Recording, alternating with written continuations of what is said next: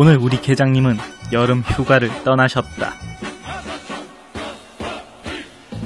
코로나도 오늘부터 자동 휴가다.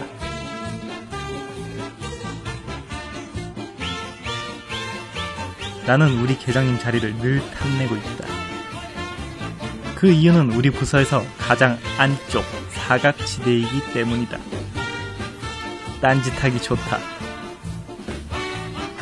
계장님은 떠나기 전 한 가지 숙제를 주고 가셨다. 노잼 도시라는 오명을 벗을 수 있는 아이디어를 생각할 것.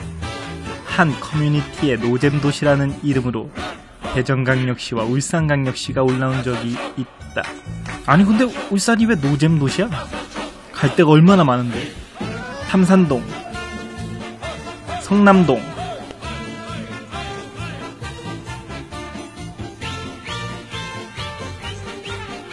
대왕암. 근데 태화강이 국가정원 지정돼서 앞으로 울산은 유잼 도시로 거듭날 문화의 폭이 좁다 이것도 저는 공감 많이 되는 것 같고 연극을 하는 친구가 있는데 울산에서는 너무 없어서 그런 자리가 부산으로 갔다 그래서 준비했다.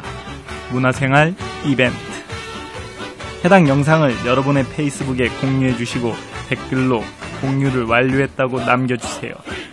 추첨을 통해 동구 꽃바이 문화관에서 열리는 배우 모독 연극 공연 티켓을 드립니다. 매번 주말마다 영화관만 가는 거 지겹잖아요?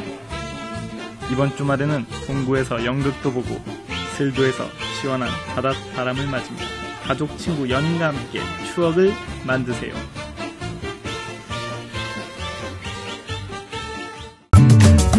The City, 울산.